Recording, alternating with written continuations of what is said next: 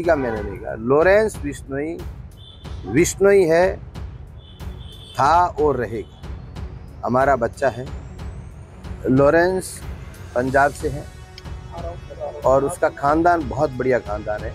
हमारे समाज का तो वो हंड्रेड परसेंट पक्का दोषी है और पिछले 24 साल से हम लोग ये दर्द लिए हुए घूम रहे हैं। उसको समाज से माफ़ी मांगना चाहिए। समाज से माफ़ी मांगने वाले आदमी की कोई छोटा नहीं होता। और माफ़ी उसको मांगनी पड़ेगी।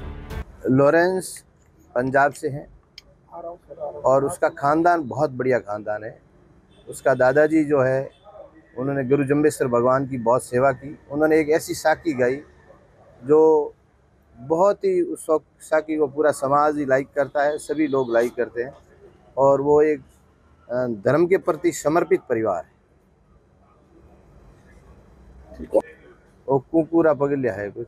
बहुत अच्छी साकी है। मुझे पूरी याद तो नहीं है। बाकी साकी और उसकी धुन आप देखो तो एकदम भगवान की याद आ जाती है आनंद आ जाता है। ठीक।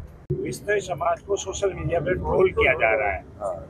ऐसा है कि विष्णुई समाज एक पर्यावरण पेड़ों के लिए वन्य जीवों के लिए जान देने वाला प्रकृति को बचाने वाला समाज है और उस समाज को विष्णुई गैंग से नाम से मीडिया ट्रोल कर रही है।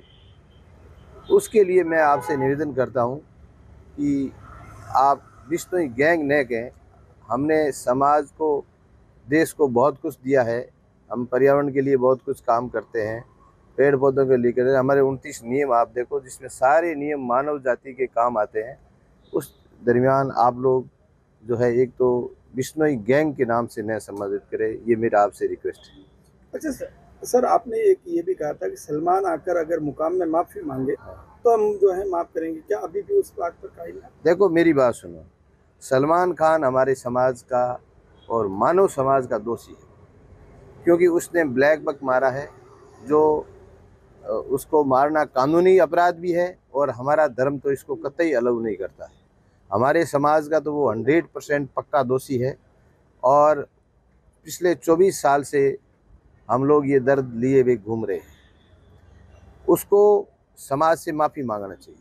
समाज से माफ़ी मांगने वाले आदमी की कोई छोटा नहीं होता और माफ़ी उसको मांगनी पड़ेगी और माफ़ी मांगने से अगर शांति बनती है, राहत मिलती है और एक अच्छा काम होता है तो माफ़ी मांगनी चाहिए।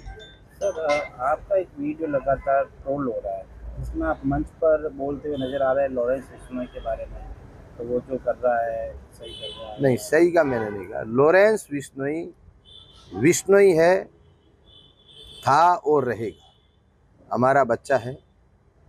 अब वो क्या करता है वो वो केस वो कोर्ट का मामला है।